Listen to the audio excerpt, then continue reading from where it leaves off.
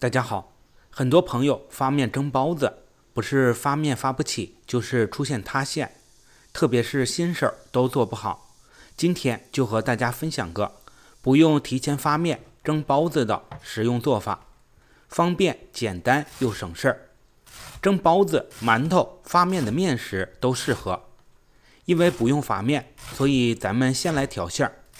我今天做的是韭菜肉馅的包子。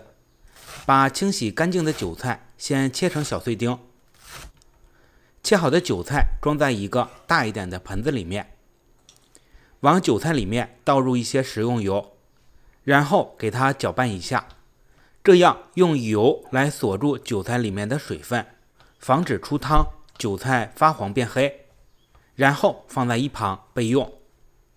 五花肉馅中放适量的葱姜末，适量的食盐。鸡精两勺，胡椒粉去腥增香，蚝油提味增鲜，适量的生抽，料酒去腥。然后我们用筷子朝着一个方向顺时针把肉馅搅拌上劲儿，吸收味道。最后加入适量的芝麻香油来增香，锁住肉馅中的水分和香味儿，充分的搅拌均匀。搅拌均匀以后的肉馅儿像这样粘稠，能挂在筷子上就可以了。包子馅料咱们准备好以后，下面来和面。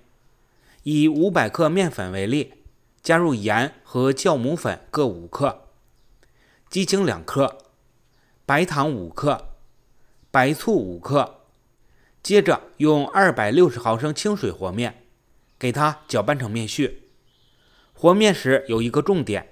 想要蒸出来的包子白不发黄，一定要放些白醋，可以最大程度的让咱们蒸出来的包子雪白雪白的不发黄。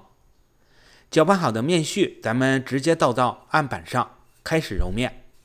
这一步也很关键。如果你想蒸出来的包子外皮光滑细腻无褶皱的话，揉面的时间不要低于五分钟。这样做的目的主要是为了把面给它揉透、揉匀、揉光。只有你把面给它揉光了，蒸出来的包子皮才光。反复的揉面，我这里大约是三斤的面，我揉了八分钟左右。大家看，揉好的面像这样就可以，表面光滑细腻无褶皱。然后我们把面团给它分成两块。再这样用手给它来回的攥一攥，攥成一个粗细均匀的长条。最后再把长条给它搓得光滑一些，分成相等的面剂子，一个剂子大概是一两左右。切好的面剂子上撒些干面粉防粘，然后放在一旁开始擀包子皮儿。在调制包子馅儿前，最好是先擀皮儿。我一个人擀，一个人包，就是这样。因为包包子要比擀皮儿快，最好是在面发酵之前把包子都包起来。如果面发起来了，咱们包出来的包子就容易发糟，出现漏馅的情况。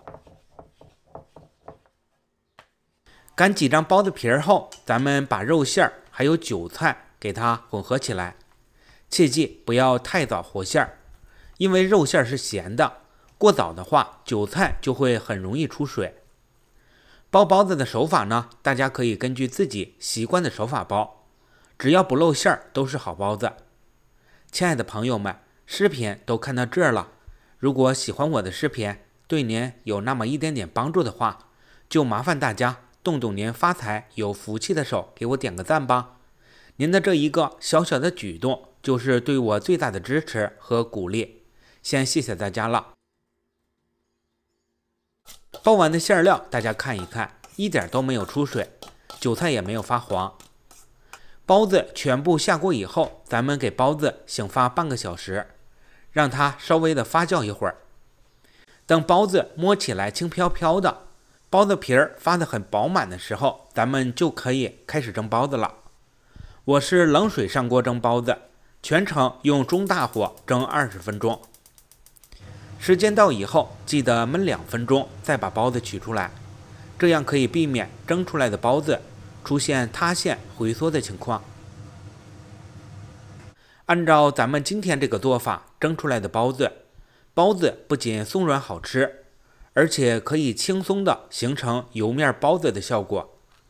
这个做法的包子，它不仅不用提前发面，而且皮儿薄馅儿大，非常的美味好吃。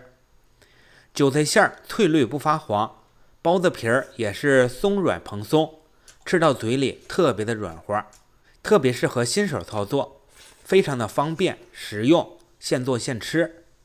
如果你也喜欢吃发面的面食，就可以按照这个方法来，保证你一次就成功，不再失败的。好了，今天的视频就为大家分享到这儿了，感谢大家的观看，谢谢大家。